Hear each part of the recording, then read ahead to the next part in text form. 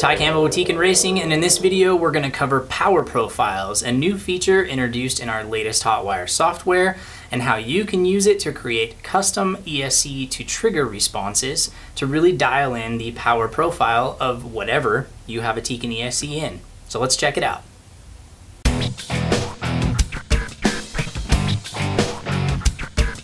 Power profiles allow us to adjust the ESC output at whatever throttle percentage we're at. So whatever trigger percentage we're at on our radio, we can take that and we can change what the ESC is actually putting out at whatever trigger percentage that is. You can add up to 64 points on this graph anywhere from 1 to 100%. So it gives very granular control over the entire throttle range. Power profiles are going to be beneficial in a drag car, absolutely. You can change pretty much any point you want to on the graph. So this is only going to work if you set a delay in your radio. So you want your radio to launch at whatever percentage works for you, 20, 27, 31, set that.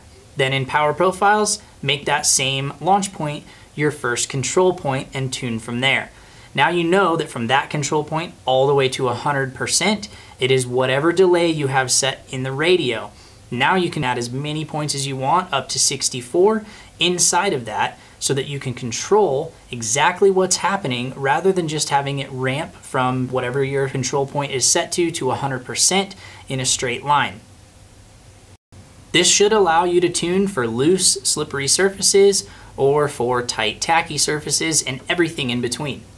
Now for off-road, on-road, oval, and everything in between where we're not just snapping to 100% throttle and letting software do the work for us, power profiles allow us to manipulate our curve from exactly where we want to start. So it kind of works like Expo, but not really. Expo starts at zero, and then it's just whatever percentage curve you set. That's what you're stuck with.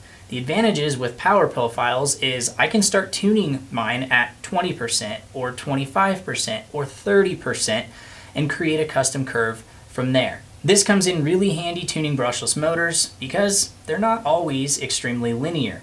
Moving these points around changes the trigger to motor relationship. Now, what exactly does that mean? It's a little bit easier for me to explain if I have a visual representation that you can follow along with. So let's plug our Hotwire into our RX-8 Gen 3 real quick. We'll fire up the software on a PC. We'll check out making custom power profiles.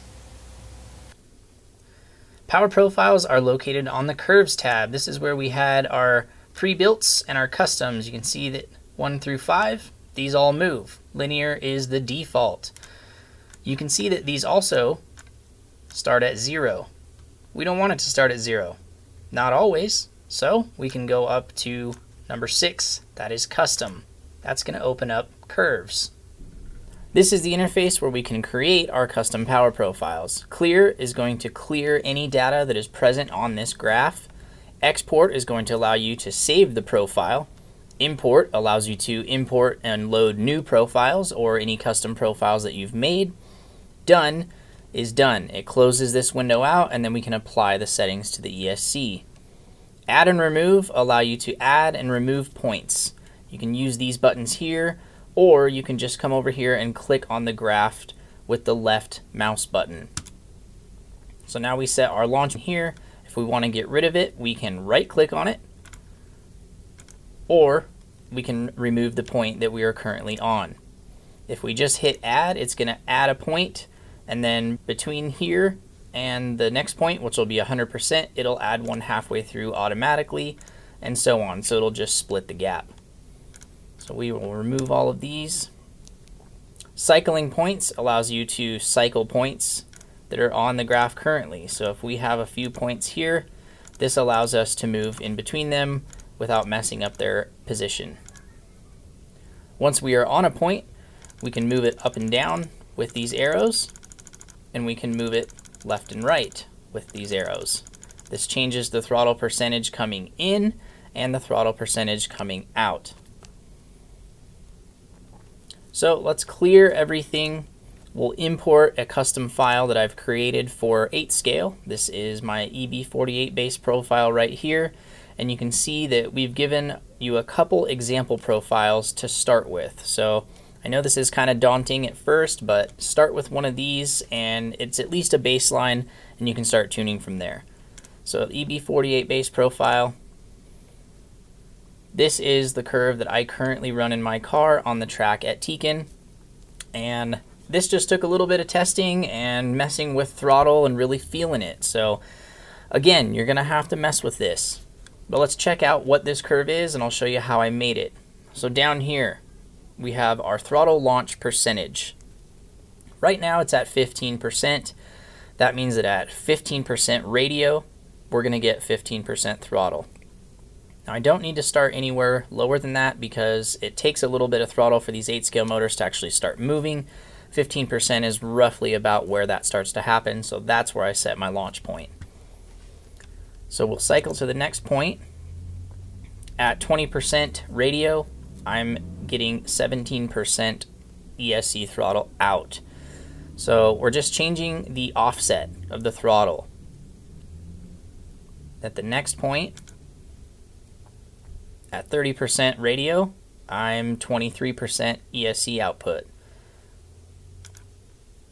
At 40% radio, I'm 30%. So I'm basically softening this whole middle range of the throttle right here because these 8 scale motors are pretty torquey and the power curve isn't exactly linear. So even though it looks linear previously, doing this actually makes it feel more linear. So at 50% radio, we're at 40% output on the ESC. And then back here, I start catching back up because it's pretty good through this section. So at 60, we're back up to 55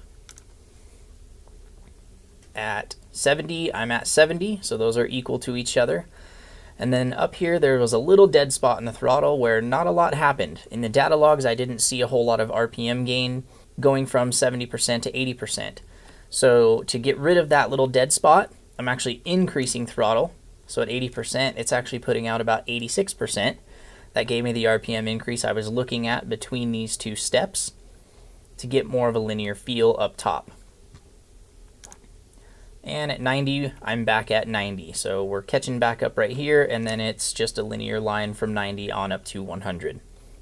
So that's kind of a base 8 scale curve. I would recommend just loading this profile and go drive it. You know, it's not going to work for everybody. Not everyone's going to like this feel, but for me, this really tuned my throttle curve to feel more linear on my finger. That's what I was really searching for. So you can add way more than 10 points. You can do it with less than 10 points. Again, you can add up to 64 total. So once we are done creating our custom profile, we want to hit export so that I can make sure I save this. This is my EB48 base profile. It's already saved, but if I change it, I'm going to add a one or a two so that I can have a bunch of different tunes uh, or maybe make a note about, you know, traction or the tires that I'm using, that sort of stuff. So we'll save that in here. Yes, save it. And now we actually need to save this into the ESC. So we'll hit done. And then over here on this window, just like saving any other setting in the Hotwire, we have to apply it. This will actually write it into the ESC and it will save it. Setting save. So just to double check, we'll go back to custom and yep, our curve is still in here. So this is all good. Now we can go out and hit the track and see how this feels. So just like we saw tuning the 8 scale throttle curve, I tamed it down from about 20% to 60%. I actually increased how aggressive the throttle was at 70 and 80 and then let it taper from 80 up onto 100. Not to get repetitive, that allowed me to take a lot of the snap out of the mid throttle, add a little bit that was missing in the high throttle, and effectively make the power band in the car much more linear and easier to drive. Not only did this help in the infield and down low, it really helped me with some of those real tricky jumps where you have to get the distance just right and you're in that 70 to 90% throttle range. And it wasn't always consistent before, but I can nail it pretty much every time now. Well, that is some basics on the new Tekin Power Profiles. If you've got a question, please don't hesitate to ask. Drop it in the comment section below. Hit us up on Facebook or drop a line to support at teamtekin.com. Be happy to assist you with any issues or any tuning advice that we can possibly give. Make sure you check out the included tunes in the new Hotwire software. They're a pretty good starting point even though they might not be perfect for everybody. I'm Ty Campbell. Thanks for watching this Tekin Clinic. We'll see you at the racetrack.